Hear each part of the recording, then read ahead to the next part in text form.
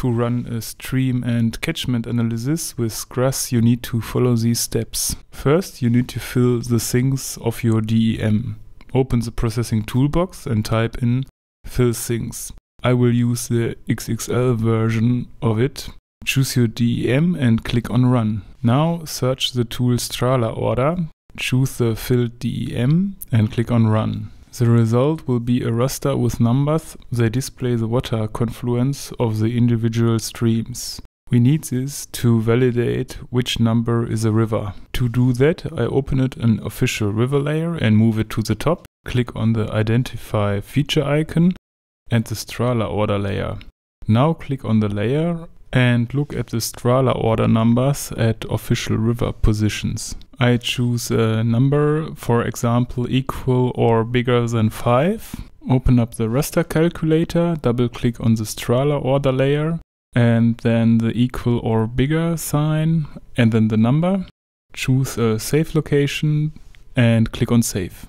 The output will be a map with zeros and ones. Open up the layer properties and choose symbology, change the render type to single band pseudocolor and the mode to equal interval. Then the classes to 2. We don't need the zeros so they can be transparent. Now we see all rivers with a number equal or bigger than 5. I have prepared Strahler orders from 6 to 9 to show you the differences. You can see the rivers decreasing when the Strahler orders gets up. Finally I choose number 8. It fits quite good with the official river layer.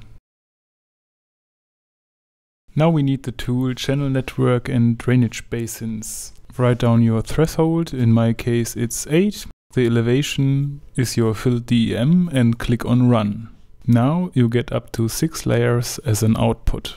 You get a second Strahler order, it's basically the same we calculate before. The drainage basins as a raster and a vector file, the water channels as a vector layer and the junctions as a point layer. The flow direction as a raster layer, the number values are from 0 to 7. The 255 is the no data value this picture shows the direction of flow based on the number and the flow connectivity. It shows how fragmented your channels are. The higher the number, the more flow. You can calculate only one drainage basin based on the Strahler order with the tool upslope area. First, move to an endpoint of your desired basin, search for upslope and open the options. You have to write the coordinates into it. They are displayed at the bottom of the window. To freeze them, move the window nearby the point of interest and move the cursor into it. The coordinates will freeze. For the elevation, choose your filled DEM and write down the coordinates. I choose the method D8 for the comparison with the other data.